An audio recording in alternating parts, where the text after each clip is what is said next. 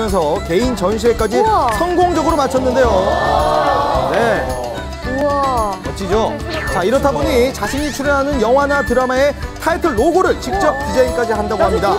조다란 씨에게 이 손글씨 작업들이 특별한 있다고 씨가. 이런 또 손재주가 있으셨는지 몰랐네요. 제가 어느 정도 난독증이 난독증이 좀 있어서 아, 배우 다란 씨의 의외의 모습인데요. 대본 시나리오를 보는데 네. 한줄 읽고 딴 생각하고 한 줄을 네 번 연속을 읽고 오래 걸려요. 굉장히 오래 걸려요. 네, 근데 이제 글씨를 쓰면 집중력이 굉장히 좋아져요. 그리고 마음이 되게 차분해져요. 왜냐면 좋은 글귀들을 많이 쓰니까 오늘 모델로 어떤 의상을 좀 입고? 이거예요, 이거. 아 이거 아, 이거예요. 아, 이거? 오늘 무대 의상입니다. 특별히 사이즈 잰 거예요. 일반 모델들에 비해 작으니까 시선이 이, 이건지 이건지 다 물어보고 다녔어요. 넘어지지 않으세요?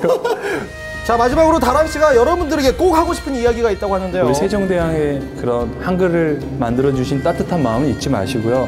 손글씨를 해보세요. 여러분들에게 분명 따뜻한 감성이 찾아갈 겁니다. 한글 파이팅! 드라마 볼 때 꽃미남 보시죠? 사랑 스토리의 파르르 또 설레실 텐데요. 자, 오늘은 파격적입니다. 위법만 찾아볼 거예요. 한밤 기획입니다. 폭행,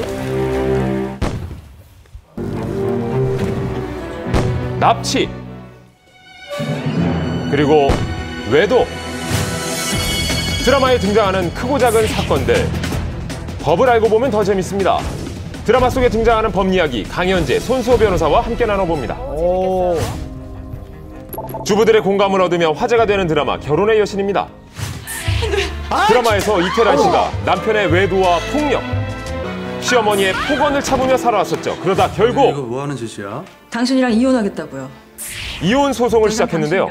부사장이자 얼마, 얼마나 재산이 많길래 5천억 원의 위자료를 그 위자료가 5천억 원 아닐 겁니다. 아 그래요? 예, 5천억이라는 거는 그 남편 김정태 씨가 갖고 있는 그 재산을 분할해 달라. 네, 재산 분할. 예, 재산 분할이 5천억이고요. 결혼 중에 형성된 재산이어야 되거든요. 근데 뭐 남편이 갖고 있는 지금 재산의 상당수는 이미 재벌 집안에서 가지고 있던 재산인 것 같아서 뭐 5천억까지는 안 될 것 같네요. 소송 당사자는 어떻게 생각할까요? 뭐 아시겠지만 5천억이 다 현찰은 아닌 거 아시죠? 남편의 지분을 제가 갖는 거거든요. 저는 받을 수 있을 것 같다는 생각이 들어요. 충분히 그 제가 다 진단서며 자료들을 제가 다 수집해 놨고요. 꾹 참고 살았습니다. 지난 8년간 제가 살아온 것들 그죠? 아, 자, 본인의 일가예요. 받을 수 있도록 트신 분들은 드리겠습니다. 홍혜정 씨 얘기만 들어볼 수 없으니까 김정태 씨의 말씀도 한번 들어보시죠. 그러니까 이제 그 저, 저희 아, 주장은 그에. 걸맞게 그에 고생한 만큼의 위자료만 저는 지급을 하겠다. 하지만 거기다 위로금조로 조금 더 어, 얹혀주겠다. 조금 뭐 살만 먹고 살 만큼만 주면 되죠. 멋져요 저는.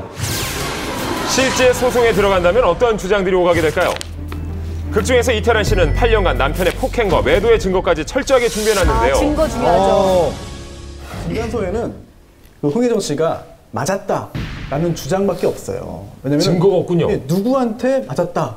남편한테 맞았는가, 아, 시어머니한테 맞았는가. 어, 아니, 근데 직접적인 증거가 없습니다. 너무한데요? 그 남편, 그 시어머니, 시아버지의 모든 치부를 법원에 내면은 이 자, 이런 내용들이 문서화되어 있다는 것 자체가 기업 입장에서는 상당히 어. 압박일 거기 때문에 아. 위자료는 아무리 많이 맞고 정말 억울한 일을 당하고 했지만 그럼에도 불구하고 음, 3천만 원 정도 예상됩니다. 뚝 떨어지는데요? 어, 그럼요. 예. 위자료가 생각보다 우리 지금 법원은 굉장히 낮게 인정을 해줘요. 남의 아이를 낳아와서 10년 동안 기른 경우에도 위자료가 3천만 원이 안 되는 경우가 있습니다. 어머. 진짜예요? 이렇게 아무리 법적으로 뭐, 뭐 이렇게 다 증거가 다 충분해도 최고가 3천만. 재벌인데요? 어, 결과는 드라마 종영 후에 정말 이게 드라마를 보다 보면요 남자 주인공 여자 주인공들이 전과 한 10범은 될 것 같아요. 어우, 법으로 따지면 멋있게 이별을 당했어요. 네. 상대방이 가는데 그걸 막기 위해서 딱 길을 막았습니다. 아, 너무 멋있어요. 저 행동 저거 도로교통법 위반인데 법 얘기하고 있는 아, 예. 아, 주인공들이 하는 행동이에요. 다른 사람의 우편물을 허락받지 않고 뜯어보는 행위 자체는 이제 비밀 침해죄가 성립하고요. 그렇게 바로 응징당하죠. 편지를 어. 버렸다 하면 또 재물 손괴죄까지 성립할 수 있는 아주 무서운 행위죠, 사실. 내 온몸 구석구석을 다 찔러봤잖아. 극중 공효진 씨가 소지섭 씨를 허락 없이 만지는데요. 이걸 내 법으로 보면 막 어떻게. 될까요? 넌 성추행범이니까. 평범한 그 남자 시청자 혹은 그냥 일반인으로 여쭤보는 건데 여자가 남자 몸을 이렇게 만진다고 해서 성추행 가능한가요? 남자도 여자가 자기 몸